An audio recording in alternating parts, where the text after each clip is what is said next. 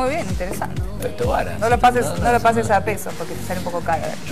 Muy bien, es tiempo de comenzar, hay muchísima información, aquí estamos hasta las 4 de la tarde, así que vamos. Bueno, vamos a comenzar con la noticia del día que tiene que ver con lo que sucedía ayer a la noche, a las 9 y media de la noche, a la altura de Temperley, una formación de la línea general Roca de Ferrocarriles embistió eh, por estas maniobras que se estaban realizando en la estación de Temperley a esta locomotora. Eh, hoy a la mañana, que ahora lo vamos a escuchar al ministro de Interior y Transporte, Florencio Randazzo, él brindó una conferencia de prensa para tratar de explicar qué fue lo que sucedió, pero lo que se va a ver, que ahora lo vamos a compartir, es que el motorman de esta formación no respondió a las alertas, a las luces rojas y al llamado de la central que le estaba indicando que frenara. Estamos hablando de 40 heridos, fueron trasladados al hospital, ya todos fueron dados de alta. Esto fue realmente una desgracia con suerte, lo ponemos entre comillas. La verdad que es alarmante lo que sucedió porque este hombre, según parece, a propósito chocó, ¿eh? sí, y parece que sí, chocó con esta locomotora. Pero ahora sí vamos a escuchar al ministro de Interior y Transporte, Randazo, esta mañana brindando la conferencia de prensa. Mirá. Siniestro que como ustedes saben ocurrió 21 a 30, precisamente en la estación Temperley, en la misma que hoy yo a las 10 de la mañana iba a estar asistiendo para poner en marcha eh, el proceso de recambio de unidades. Ustedes saben que compramos 300 coches 0 kilómetros. A las 21.30 el tren 2277 a cargo del motorman Diego Sánchez, con 8 de años de antigüedad, en servicio del ayudante Nicolás Navarro, inicia la marcha del tren con todas las señales en rojo. Inicia la marcha del tren con todas las señales en rojo.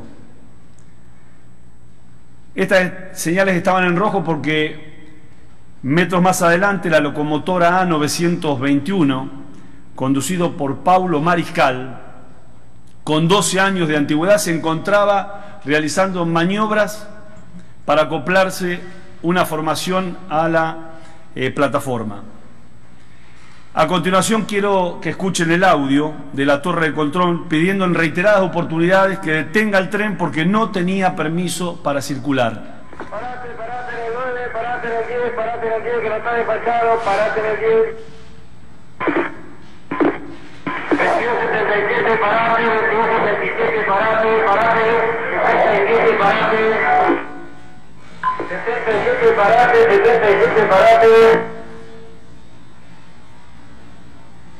Ignoro las advertencias de las luces en, en rojo y las que hacían desde la cabina del control trenes, como ustedes escucharon en el audio. Según los registros del, GPS, con los que cuenta la formación, acelera y aproximadamente 200 metros más adelante se produce el impacto. Está claro, acá está, la, acá está el tren pasando y las señales en rojo. Eh, Diego Sánchez se había hecho el examen psicofísico el 27 del 3 del 2015, por supuesto resultando acto. Yo no creo en, las casualidades, creo en las causalidades. Eh, estamos a 24 horas de un paro, un paro que, ha sido convocado por los gremios de, del transporte. Es el tercer siniestro que me toca afrontar a mí. Y en este caso estamos a 12 días del cierre de las de las listas. Ustedes, como saben, yo soy precandidato a presidente dentro del Frente para la Victoria. Yo no creo en brujas, pero que las hay, eh, las hay. Todo está a disposición de la, eh, de la justicia. No son interpretaciones, son eh, datos objetivos, absolutamente objetivos. Queremos que, la justicia actúe rápida y, y determine si hay o no una mafia detrás de todo esto. Si hay una mafia, queremos que terminen presos.